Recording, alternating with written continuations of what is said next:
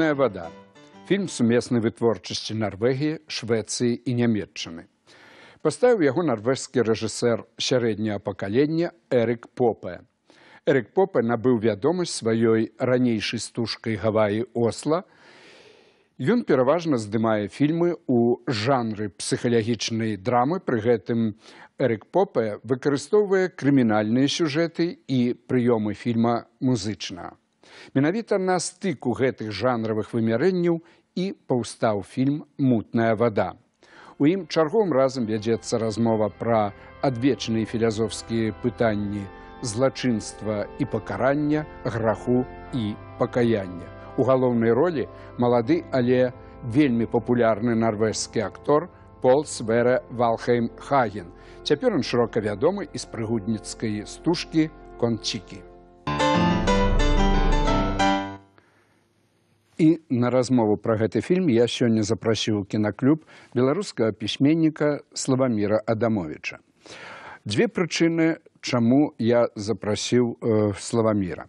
Па-першае, славамір былы палітвязень доўгі час э, у вымушаным выгнанні жыў у Нарвегіі.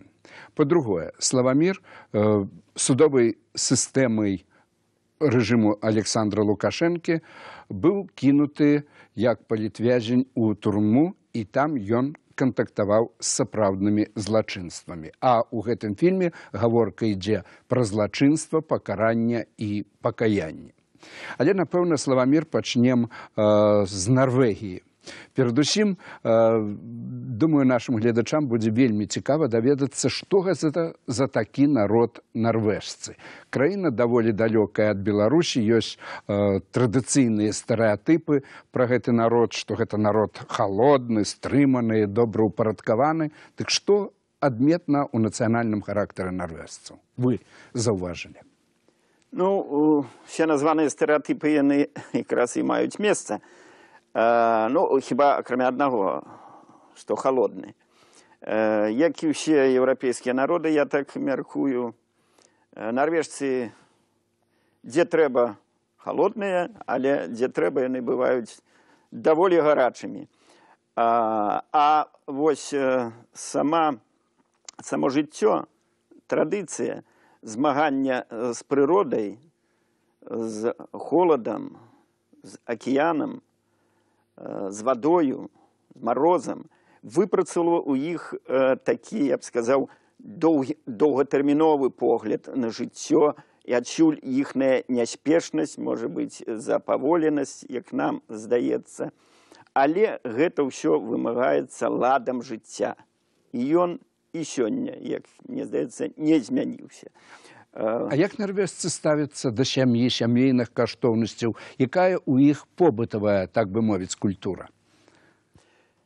Зноў жа відаць стаўленне да сям'і і сямейных каштоўнасцей таксама абумоўлена традыцыяй. Сям'я, я мяркую для нарвежца бадай на першым месцы. Ставяцца яны вельмі сур'ёзна да адносін у сям'і у гэтым сямейным коле.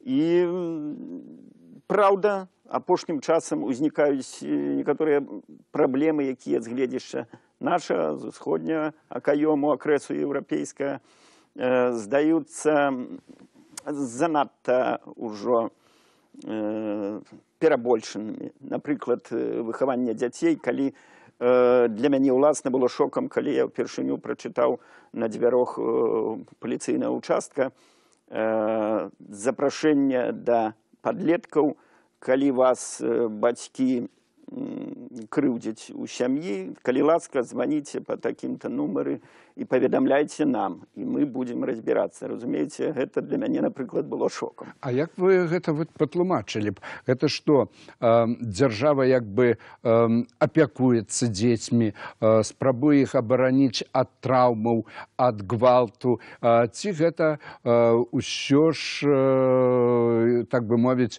даніна нейкай э, традыцыі зачыніць закрыць іх ад знешніх уздзеянняў вельмі свабоднага сёння свету.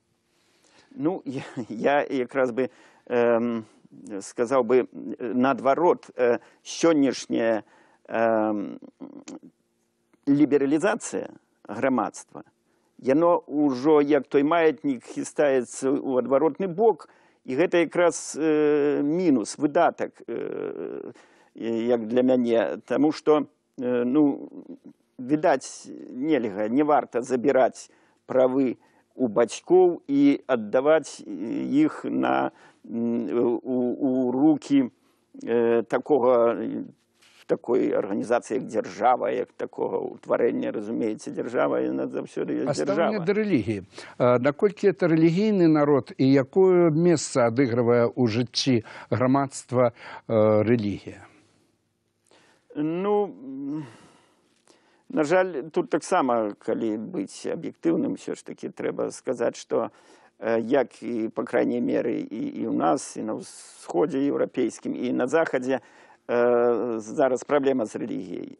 Сёння скажем у касцёле у нарвежскім альбо ў пратэстанцкіх церквах хутчэй убачыш э, нова паўсталых новапрыбылых грамадзянаў нарвегіі чым уласна нарвежцаў вельмі мала народу ходзяць Наколькі злачыннасць з'яўляецца праблемай гэтай вельмі вельмі дабрабытнай дзяржавы.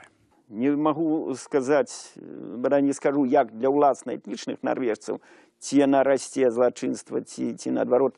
Менее але тое што знова э, з новых грамадзянаў нарвегіі вялікая колькасць трапляе за краты і тут увесь час з 2002 году калі я упершыню прыехаў нарвегію я сутыкаўся чуў чытаў у газетах што тыя і тыя грамадзяне з афрыкі з азіі у, у, зрабілі тыя ці іншыя злачынствы прычым самыя цяжкія і забойствы згвалтаванні гэта ёсць.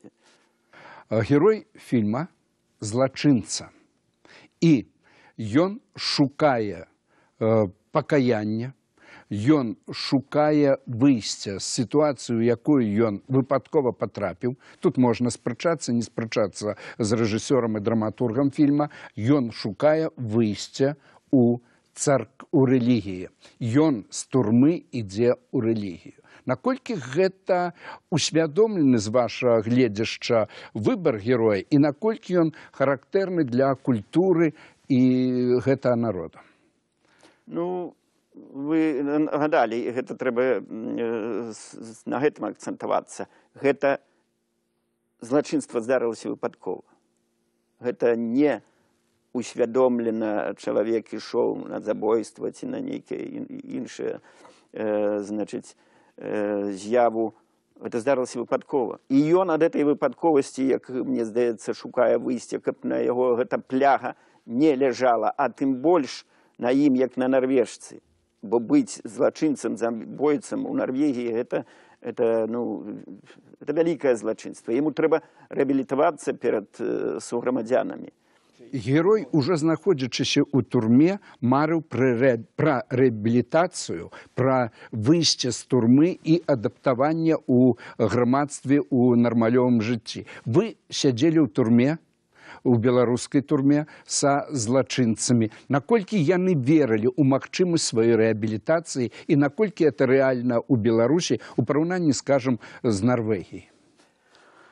Ну тут э, цяжка параўноўваць. І перш за ўсё таму, што наша турма і іхная турма это дзве вялікія розніцы. Там пазбаўляюць свабоды, але не пазбаўляе турма тваёй чалавечай годнасці. У нашай турме ты думаеш, як выжыць, як выжыць і ну, відаць у апошнюю чаргу пра душу і ўсё, што з гэтым звязана пра, пра тое, як я выйду, як я буду вяртацца ў жыццё. Першая думка выжыць у нашай турме. Вы э, на- натуральна памятаеце людзей, з якімі сядзелі ў турме. Напэўна, нават сочыце за іхнымі лёсамі. Ці адбылося ў каго-небудзь з іх, скажем, пакаянне, другое рэабілітацыя, ці, па, ці змаглі яны ўвайсці ў нармалёвае жыццё ўжо пасля таго, калі яны выжылі. Ну, напэўна, тут так трэба адказаць, што калі у нарвежскай ту- турме, шырэй скандынаўскай можна гаварыць, э, людзі що ж таки ми сподіваємося, що сапраўды трапляють за, за злочинство, реальне злочинство, то як трапляють наші люди у, у турму? Трапляють е, за так зване злочинство, за злочинство, яке можна не позбавляти свободи, а, а обмежовувати, е, там, штрафувати яким іншим чином. Але чоловіка саджають, і він починає е, навчатися цієї туремної е, культури, коли можна так сказати, ту- е, нейким правилам. Ось тут, тут е, ось такий момент цікавий тут. Э, Мы сегодня будем глядзець фільм э, нарвежскі вельмі рэдкі гость на беларускіх экранах і ў кінтэатрах і на беларускай тэлевізіі і увогуле напэўна гэты фільм шмат у чым паказальны і для мастацтва Нарвегіі што ў нарвежскім кінематографе што ў нарвежскай літаратуры ў нарвежскім мастацтве ёсць адметным скажем, і адрозным ад агульнаеўрапейскіх, ну і скажем, нацыянальна-беларуска. Чым яно розніцца? А я б, е, по-іншому поставив би питання і, і, і, і на його ж би відказував. Що агульного у наших культурах на Усході і, і е, Скандинавії? Добра, приватності? хорошае пытанне. А, вельмі много агульна вельмі много перш за ўсё калі браць літаратуру як сёння так і скажем гадоў 100 назад калі взять а, мы можем нават по прозвішчах беларускіх э, пісьменнікаў паэтаў э, рабіць паралелі і называць нарвежскіх э, адзін з першых гэта кнут гамсун і наш кузьма чорны і часткова э, гарэцкі Сігрид Унсет, это з празаікаў. Прыкладна, калі не стопрацэнтова адны і тыя ж тэмы распрацоўваліся, і перш за ўсё эта тэма змагання за жыццё, за годнае жыццё, за зямлю, разумееце, столькі, колькі напісалі нашы пісьменнікі і нарвежскія ведаць пра зямлю, ну, ну это я, больш не ведаю, значыць. Так, і, і, і вось у гэтым мне цікава, наша агульная, толькі вядома на па нар- ну, нарвежскай мовай але як для мяне ну это для мяне я столькі найшоў агульна столькі блізка што я э, па сёння гэта перажываю блізіню разумееце што ж да кінамастацтва тут э, відаць таксама мы блізкія толькі у тым э, што цяжка гаварыць пра э, беларускі кінематограф сёння як такі пра нейкія знаходкі нейкія велічыні так? Так і нарвеж нарвежскае кіно я разглядаю як Як ну, асобныя фільмы, асобныя Так, асобныя фільмы з'явы. безумоўна Пагаджаюся з вами славамир, што э, гаворка і ў нарвежскім кінематографе і ў беларускім. Можа весціся толькі пра як асобныя з'явы. Але гэтыя з'явы тым больш каштоўныя, чым больш у іх вядзецца. Размовы пра агульначалавечыя праблемы, праблемы граху і пакаяння, злачынства і пакарання. Дзякуй за размову і мы запрашаем нашых гледачоў паглядзець нарвежскі фільм мутная вада.